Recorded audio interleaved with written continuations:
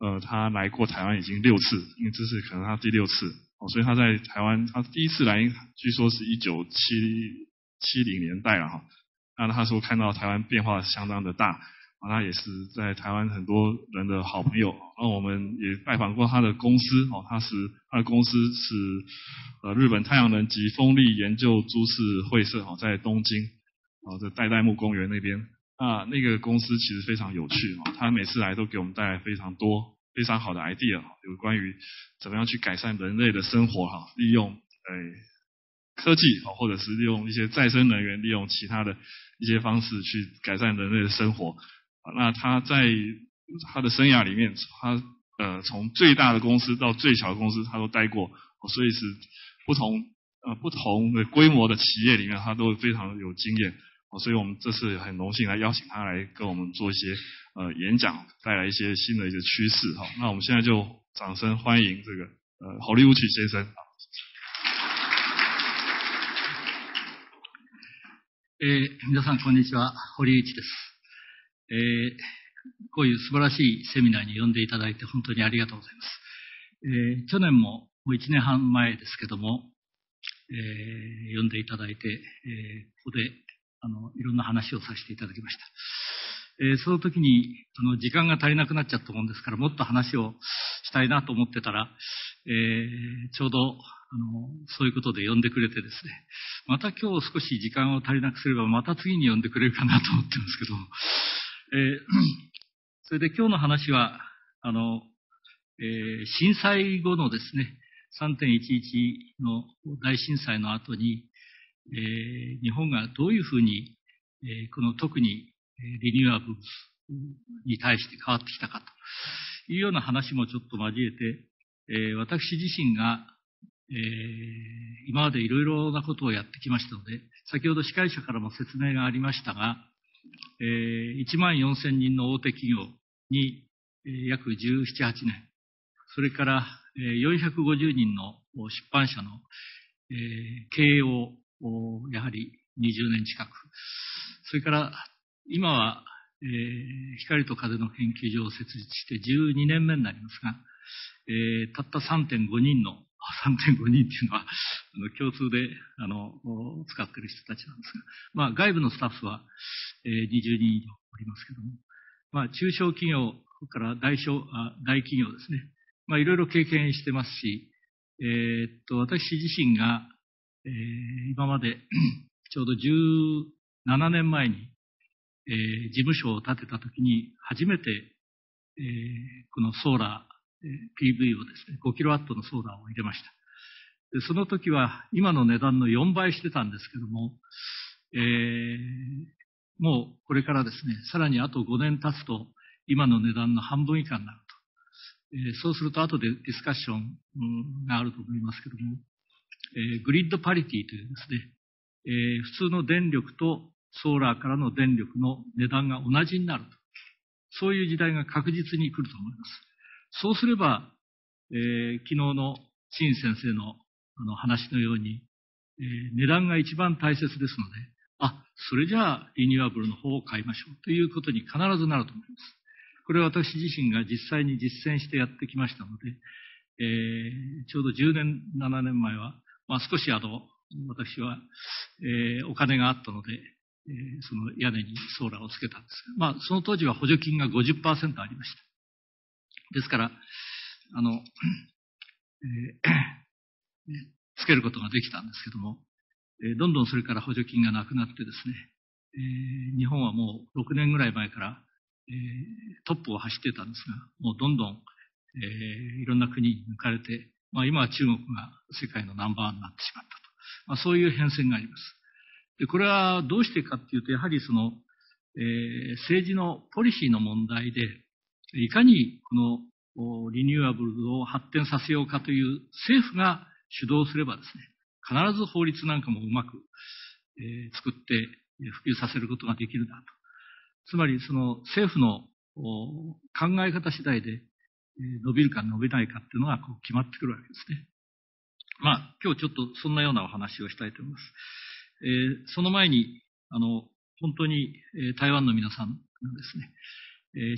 地震の後でもって大変なあの寄付をいただいて、しかも一番早く、一番たくさんいただいて、えー、昨日も台湾大学の陳教授と話をしてましたら、私も、あの、ちゃんと寄付を、あの、あげましたということで、まあ、いろんな人たちが我々を助けてくれました。まあ、本当にありがたいことですね。まあ、これによってですね、まあ、かなりいろんなことが、あの、日本は今変わりつつあります。えー、もう本当に瓦礫の山なんですけども、大体今2500万トンぐらい瓦礫があるんですね。えー、これを片付けるのが4、5年かかると言われてますが、まあ大変なのはその中に放射能が入ってたり、えー、それからまだ行方不明の人が5000人もいるんですね。でそういう、まあ、死体が入ってたりしてですね、めったにこう動かしたりなんかすることができなかったと。まあ、そういうこともあって、大変その瓦礫の処理が遅れてるわけですね。これはあの衛星から見た写真で、あの、このとこにたくさん、えー、家が、家とかビルがあったんですが、北の方はもうまるっきり何もありません。えこれもそうですけど、昔はここに畑がずっとこうあったんですね。今は全部これが、あの、沼というか、湖になってしまう。まあ、これほど、あの、地震というものはすごいわけです。まあ、そんな中で本当に、あの、皆さんに助けていただいてありがとうございました。それでですね、日本の政府がこれによってかなり今変わりつつあるということは、皆さんあのメディアなんかでご存知だと思いますけども、えー、日本の政府はですね、これは今まで原子力一本槍だったのが、原子力発電一本槍だったのが、今度はかなりですね、このリニューアブルに対して、えー、ポリシーをシフトしてきたということが言えます。まあ、まだこれから、えー、それが嫌なあの人たちもいるわけですね。そういう人たちとの、まあ、戦いっていうのがある程度あるんですけども、まあ、国民の大体65%は、この再生可能エネルギーに対して非常に好意的です。ですから、まあ、あの、今度はですね、えこの法案が、あの、今、審議されています。えー、多分、この1ヶ月以内でですね、この再生可能の、えー、全量買取法案って、まあ、特別措置法案と言ってますけども、これが今、審議されてて、多分通るとえー、まあ、いくらで買い取ってくれるかっていうことによって、普及率がまた違ってくるわけですよ。もうもう本当に経済の値段の問題で普及率が変わってきますね。えー、ですけど、やはり、あのこういうふうなムードになったっていうのは、この震災がなかったら、うん、なかったなと。で、日本っていうのは、あの、そうですね、大正時代、だいたい90年ぐらい前に、えー、まあ、大正初めから100年なんですが、九十数年前にすごい大きな地震が東京でありました。で全部焼け野原になって、これは14万人ぐらいが死んだんですが、その後、非常にまた復興再生しました。それから第二次大戦。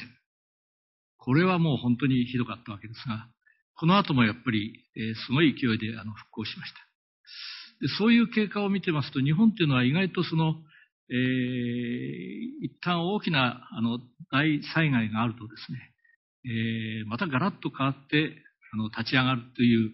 まあ、私日本人ですからそういう力を信じてまして、まあ、今回の、えー、地震っていうのは、えー、地震と津波と原子力のメルトダウンですね。この3つが同時に重なったんでですね、まあ、これはもう今までの第二次大戦の次に大きな、まあ、ディザスターといいますか、天災といいますか、人災もたくさん含まれてますが、えっ、と、そこで、まあ、我々がかなりこれから、えー、世の中が変わるなという予想をしています。もちろん政府も変わりつつありますが。大体テレビ見てると、その3月11日前っていうのはなんとなくこう、閉塞感といいますか、なんとなくこう重苦しい空気が漂ってて、中小企業なんかが何をしてもなかなか政府が取り上げてくれないとか、大企業が、あの、そっぽを向くとか、なかなかうまいコラボレーションができなかったんですが、えー、この3.11以降はですね、やっぱりかなりそこらが変わってきて、電力会社とソーラーの大きな、あの、えー、メガソーラーの交渉をしようっていうと、今まで1ヶ月ぐらいほっとかれたんですが、今電力不足ですから、一週間以内にすぐ交渉を始めると。ガラッとこう変わってきたりですね。それからやっぱりテレビ見てると若者の顔がなんかこう、今までこうだらけてたのが、えー、引き締まってですね、いろんなあのボランティアの人たちなんかいっぱいその遠くに行ってますから、やっぱりそういう意識がだいぶ変わってきたなと。えー、っと、それであの、節電節電って今言ってますから、えー、最近の若者もですね、週刊誌なんか出てますが、震災カットって言って、あの、アースクイス、あの、カットですね。えー、かなりあの髪を短くして、えー、暑苦しい夏を過ごすとか、まあ、そんなような文化もですね、えー、かなり新聞なんかで、週刊誌なんかで取り上げられています。えー、っと、まあ、そんな中で私が今までこれ何やってきたかっていうと、まあ、簡単に言いますと、えー、ちょうど、えー、っと、30年前に初めて PV を見てですね、それでいつも机の脇に置いといて、それがまあ多分頭にすり込まれて、補助金が出るって聞いたときにすぐ申請をしたんですね。これがあの1994年ですから、えー、ちょうど17年前です。で、5キロワットをつけました。先ほど言いましたように、それでその時は東京電力のあの偉いさんたちが屋根の上に乗って、ああでもない、こうでもない言ったり、NHK が取り上げたり、まあ大変なことだったんですね。まあその時に初めてそのソーラーっていうのが、えー、これからすごく普及するなという感覚をあの得ました。でその時は、そんなソーラーなんて高いものでおもちゃみたいなもので、そんなものはダメだよってほとんどの人たちが言ったんですけど、今ガラッと変わりましたね。まあ何でもそうだと思うんですが、もうテレビでも電気冷蔵庫でも洗濯機でもですね、もう最初のうちはめちゃくちゃに高くて、それがどんどんあの下がっていくと。まあこれが、あの先ほど言いましたように、グリッドパリティというソーラーと商用電源の値段が同じになるのが5年以内というのが専門家の予測ですので、これによってガラッとやっぱり世の中変わるなと。まあ先ほどお話したとおりです。まあ私自身は、えー、この、後でちょっとお話しますけど、えー、今一番大切だなと思うのはですね、えー、特にまあエネルギー産業にとって一番大切だなと思いますのは、えー、このネットワークですね。 creating energy。これ特に renewable ですね。それから saving energy と、それから storing energy と。この三つが非常に大切で、それをうまく、えー、 information communication technology でもって結ぶと。これがこれからのあのエネルギー産業の一番大切なところだと思います。で、この中で一番欠けてるのは、もうみんな欠けてるわけですけども、えー、ストアリングエナジーであのバッテリーですね。バッテリーの話は後でしますが、まあ、今はえー、鉛バッテリーからリチウムイオンバッテリーですけども、えー、これが新しいバッテリーがどんどん今出始め始めます。ここがまた面白いところですね。今まではもう送電線で大きなあの原子力でもって、そんなバッテリーなんていらないよと。スマートグリッドなんかいらないよって東京電力は言ってたんですが、えー、東京電力はものすごく自信を持ってて、世界一停電の少ない国なんだと。えー、それで変動もない電力だから、えー、アメリカがスマートグリッドって騒いでるのはしょっちゅう停電があるし、えー、変動すると。だからスマートグリッドが必要なんだと。日本はいらないっつってね、言ってたのは、最近はガラッと変わってきてですね、やっぱりスマートグリッド必要だなというふうに、また電力会社自身も変わってきましたね。えー、まあ、電力研究所の OB たちがうちへよく来て、あの、飲んだりするんですけど、彼らの意見もだいぶ変わってきました。まあ、あの、台湾と私は非常にこれから、えー、強調していきたいっていうのは、こういう点で台湾の、あの、 information technology の技術とかですね、えー、それからものづくりの、えー、ホンハイなんかもですね、シャープとこの間、あの、提携して、まあ、多分ホンハイは世界一の EMS だけじゃなくて、あの、まあ、これから世界最大の企業になると私は思ってますが、まあ、そういうところと一緒に結べばですね、多分世界で最強の、えー、グループができるんじゃないかなというふうに思っています。えー、私、今日のあの技術の細かいことは時間がないのでですね、あまりあの取り上げ、取り上げません。あと、今日あのお渡しした資料に大体書いています。もし皆さんがその中でこれは面白いというあのものがあればですね、まあ、少しは触れますけども、えー、それはまたぜひ、あの、後でコンタクトしてください。で、えー、っと、私はですね、あの、まあ、いろんなことに興味があります。えー、もう、あの、70を過ぎてるんですけども、ともかく、新しい技術となるとすぐ、あの、買ったりですね、えー、面白いものはすぐあの買います。まあ、それで昨日話をしてたんですが、だから、あの、リッチになれないんだという話をしたんですが、まあ、楽しんでますから、まあ、あの、心の方は、あの、比較的リッチだと思います。えー、っと、あの、私のこの、あの、関心事っていうのは、そこにありますように、ソーラーボートを作ったり、メガソーラーを畜産化のために入れたりですね、農家のために入れたり、それから今考えてますのは、PV とすごく小さなバッテリーと、それから LED を一体型にするんです。そうすると、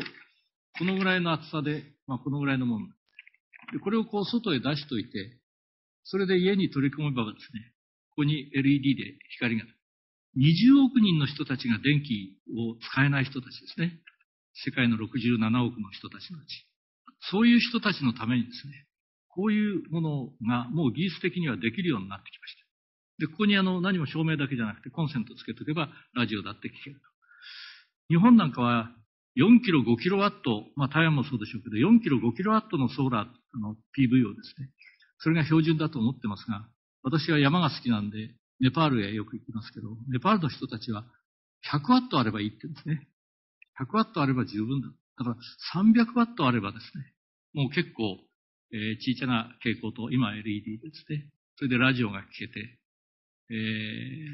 というようなことでかなり、あの、今まで電気がない人たちがですね、文明に良くすると思うんですね。で、そういうような製品なんかもこれからまあ、作っていきたいなと思っています。技術的にはもう完全にいけると。それから、後でちょっとお話します、えー、新しいタイプの、えー、ニューバッテリーですね。ニューレドックスローバッテリー。からマグネティックキャパシタとか、まあこういうものが、えー、今、私の関心事です。それから先ほど言いましたように、17年前にエネルギーを食わない建物を作ったんですね。うちの事務所です。で、その当時はまだ今よりも技術が進んでなかったんで、えー、大体リニューアブルで7割ぐらいしか、あ、失礼、6割ぐらいしか、あの、えー、全体の電気代をですね、カバーすることできなかったんですが、今だったら100%いける、あの、いける自信は十分出てきました。まあ、こういうようなところが私の、あの、関心事ですね。ちょっとここで、あの、私が、えー、テレビの取材を TBS というブロードキャスティングから受けてですね、それでこのスーパーエコハウスというエネルギー自活の家、エネルギーを食わない家、それを群馬県の太田市というところに作りました。でこの太田市っていうのは世界一のソーラータウンと言われてて、えー、一番、あの、オランダのアメルスフルトが最初一番だったんですが、今、ここは世界一のあのタウンになりました。でそこにいろんなその太陽熱温水器とかソーラーパネルとか、それから断熱性を高めるための、えー、樹脂のサッシとか、ペアグラスとか、これはあのカナダの製品なんですけども、これはソーラーウォールって言って、黒っぽい、アルミを黒っぽく塗って穴を開けただけというものすごいハイテクじゃなくてローテクなんです。ところが、太陽熱を熱として使うとですね、50%以上の収率があるんで、あの、非常に効率が高いんですね。で、これはあの、えー、気温プラス35度、あの、これが上がるんですね。気温プラス35度。ですから、こんなローテクのものでですね、えー、冬、冬でも日が照ってれば、外が0度の時には35度になる。ですから、南極の越冬帯とかそういうところがよく使っています。で、これはあの、えー、環境大学ですけど、年間530万円暖房費が浮いています。パチンコ屋なんか。で、私はここで何を言ってるかっていうと、えっと、今までは化石エネルギーが主で、リニューアブルズが10だったと。従属してたと。ところが、自分で家を作って何軒か作ってやってみるとですね、それが、えー、本当に暑い時、寒い時だけ化石エネルギーを使うと。まあ、電気のエアコンを使うと。で、そうじゃないときは、8割はですね、全部リニューアブルでいけるという確信が持てました。まあ、そこでこれがあの世界一のソーラータウンですね。見てください。ソーラーだらけ。で、ここでですね、えー、何を言いたいかっていうと、今までの戦争っていうのはですね、一次大戦もそうですし、石炭の争奪戦、あるいは資源の争奪戦ですね。それから二次大戦も日本が例えば石油を断たれるっていうんで、石油を、あの、まあ、えー、のあるところにですね、どんどんあの出てったりして、まあ、イラクの戦争もみんなそうですね。石油があるから。えー、そうでなかったらイラクなんかにわざわざアメリカがあれだけ大量のあの軍隊派兵しません。今だってエネルギーの争奪戦が続いているわけです。で、これをですね、全部太陽エネルギーでやれば、この戦争の種がなくなるわけですよ。自分たちが太陽エネルギーで自活ができれば、隣の国に攻めることがないわけですね。ですから、リニューアブルズの普及というのは、平和にすごく役立つということを、私はもう特にあの思ってるんですね。これは何もリニューアブルだけじゃなくて、えー、水もそうですし、食料もそうです。ですから、これから平世の中を平和になることに、平和にするための、まあ、技術というふうに、私はこのリニューアブルを理解しています。だから、えー、太陽を奪い合うのはもういろんな人たちでやってくださいと。石油を奪い合うことはしないで、太陽を奪うことをやってもらいたい。そういう戦争っていうのは今まで太陽を奪う戦争は起きたことがないんですね。これが私の信条ですね。これはあの、2002年にマレーシアで私が作った小さな8人乗りのソーラーボートです。えっ、ー、と、ちょうど19年前ですね。で、これが元になって、えー、この間は、一昨年は2009年42人乗りのソーラーボート作りました。えー、このソーラーボートの、ソーラーボートっていうのは、あの、スピードが非常に遅いんですね。5ノットとか6ノットぐらい。それで、えー、いや、どうしようかなと思ってたんですが、あの、最近またガラッと変わりました。えー、ちょうど今年の6月、7月にですね、あの、あ、6月ですね、えー、我々のあの皇太子がここに乗ったんですね。えー、この間あのちょ、ちょっとその映像をスマートフォンで撮ったったで何人かにお見せしました。ところがあの、宮内庁はですね、皇太子を所轄している省庁は、絶対その宣伝に使っちゃいけない。まあ、うちの会社の名前を宣伝するのはいけないかもしれないけど、ソーラーボートに乗って非常に環境にいい、いいこと、あの、船に乗ってくれたっていう宣伝はいいでしょうって言ったら黙ってました。まあ、そういうことで、えこれからこういうソーラーボートみたいなものがですね、どんどん盛んなんじゃないか。これをハイスピードにしたのはこれなんですね。これは60馬力でですね、60馬力の、あの、漁船用に作ったんです。やっぱりこれ海に出るためには、魚を追いかけたりすると、相当やっぱり、あの、ハイスピードでないといけない。えー、荒い海を乗り切るためにはですね、ソーラーボートだとひっくり返っちゃう。ですね。波に逃げられなくて。ところが、もうこういうことができるようになりました。えー、っと、ですから、これからのソーラーボートっていうのは、これがそうなんですけども、ここに今、えー、今までのエンジン、モーターに変えてですね、それで、まあ、これは電気線なんですけどね、まあ、これにまあ、ソーラーをつけようということなんですまあ、こういうようなことが、これちょうど10人乗りですね。ですから、台湾も同じように海に囲まれてるんで、こういうような産業っていうのはこれから非常に出てくるんじゃないかな。ましてその強力なモーターとかそういうものがですね、やはり産業にとって非常にどういう分野でも必要なんで。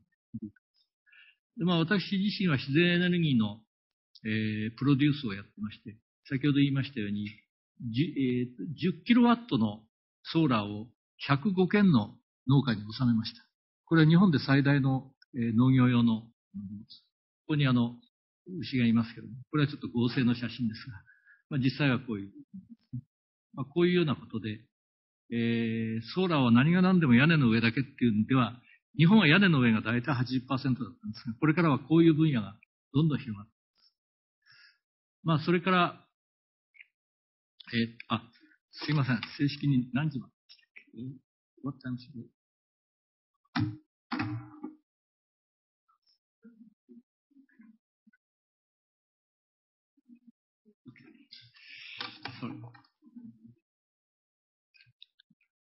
えっと、これが新しい、あの、バナジウムを使った、あの、新しい原理の電池なんですね。で、えー、これはあの、1キロワットぐらいからメガワット、ギガワットの、えー、電力を蓄えられるものです。まあ、皆さんのあの配布資料の中にあの入ってますので、またゆっくり見てください。えー、これからは電池というのもものすごく大切になる。で、ここにですね、いろいろこう、特徴が書いてあります。これ面白いのは、12ボルトの電圧でソーラーでもってチャージしても100ボルトが取り出せる、ね。変圧器なしで。というのは、駅自身にあの電荷をあのチャージして電荷を変えるというような原理なんですね。非常に面白いんです。それから、えー、10年経っても20年経ってもこの液は、あの、酸化さえさせなければ、酸素を立っとけば全く疲労しないんで、10年前に充電したやつが、そのまますぐ使える。こういうようなもの。こういう原理です。原理っていうか、こういう特徴があります。それから、えー、っと、まあ、いろんな特徴がこうありますけども、えー、ノーソイルコンタミネーション、ハームレスとヒューマンボディですね。あの、もう人間に無害であると。まあ、リチウムイオンだとかなんかはあの爆発して、ソニーがあの爆発したために400億円損したんですね。本当は500億円って言われてますが、そういう危険性はこれは全くないと。まあ、えー、こういういい特徴があります。まあ、これが今、あの、アメリカのですね、 Southwest Research Institute っていう、まあ、アメリカのペンタゴンの非常に深い研究所がありますが、ここが一緒にやろうって言ってきて、それで、えー、これから2年間でですね、えー、その少し大きなものを実際に作ります。で、これ面白いのはですね、今バッテリーでもって EV、あの、電気自動車がこれからどんどん普及しますよね。これは一番大切なのは、大変なのはですね、チャージですね。充電時間にどんなに早くても10分ぐらいかかる。で、あんまり早くチャージするとすぐバッテリーがいかれる。ところがこれはですね、液体を、あの、ガソリンの口にドボドボドボって入れるのと同じようにですね、注入すると、それでもってチャージができる。で、あの、使い終わった液体を今度は抜いてから、それから入れるんですね。ですから今までのガソリンスタンドと同じようにですね、このバナジウムの液をドボドボっと入れて、で、あの、あ最初はあの疲労した液を、えディスチャージした液をですね、え取り出してその後こう入れる。まあ、こういうような面白い電池ですね。えー、その他、これはあの、去年ちょっと話をしたんですが、かなり進んできて、たった4ミリ角でもって携帯電話の充電ができる。これはあの、キャパシターです。電池ではなく、理想のキャパシターですね。それから、 sugar cube って言いますから、えー、角砂糖大でノート PC が、これが今よりも長く使えると。で、これは2年以内に、世に出そうと。小さいもんですから、心臓のペースメーカーとかそういうのに非常にいいんですね。今までペースメーカーっていうのは、あの、かなり、えー、体に負担があったんですが、これは、あの、負担がありません。まあ、こういうような、あの、いい技術が、えー、たくさん出てきます。ですから、これからバッテリーを制するものが世界を制すると言われてますので、ぜひ皆さんと一緒に、えー、こういうものをやっていきたいなと思っています。こういう分野ですね。で、将来は30センチないし40センチ角でもって、えー、EV がですね、1000キロ走ると。まあ、これはまだちょっと時間がかかりますけども、まあそういうものが出てて、えー、チャージの時間は1分とか2分以内です。えー、それから重放電が10万回とか30万回ですので、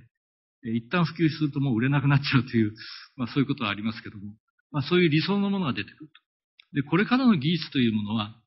今まではですね、光が強いと影が濃かったんですね。原子力なんかも非常にあの、大量の電力を生むんですが、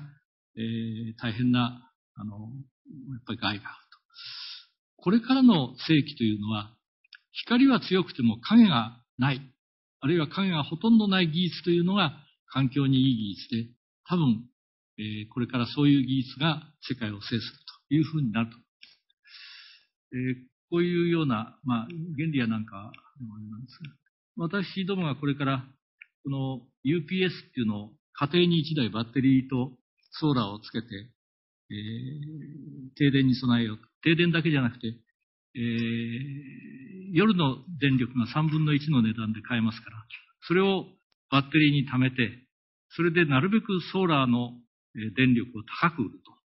そうすると、ソーラーをつける回収費用が、回収の年限が少なくなる。まあ、こんなようなことを考えています。まあ、日本にもし来られたらですね、こういうようなことがお見せできますので、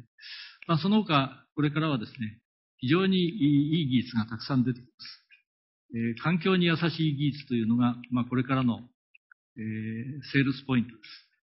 ですから、あの、そこに皆さんのところにハンダ、あの、お渡ししてありますので、え、もし何か、あの、そういうご興味があればですね、えー、また、あの、コンタクトしていただければお答えできるかなと思います。えー、これからはですね、あの、利益のみで生きる生活。元本は使わないで。元の資本は使わないで。つまり化石燃料はなるべく使わないで、リニューアブルで、利益、利息だけね、利息だけで過ごせる生活。これがサステイナブルな生活だと思います。えー、っと、それで私はまあ最後の、え、結論として、まあ、あのエネルギーと食料が足りると礼節が、あの、を知るという、まあ、古くから衣食足りて礼節を知るって日本語であるんですけど、私は衣食足りて礼節を知る。エネルギーと食料が足りれば、あの、非常にモデスティなあの生活が送れると。まあ、そういうふうに考えてますので、えー、私の興味はまだまだたくさんありますが、あの、時間がないので、えー、また余して、時間、あの、少し余すと、また来年も読んでいただけるかなと思います。それではどうもありがとうございました。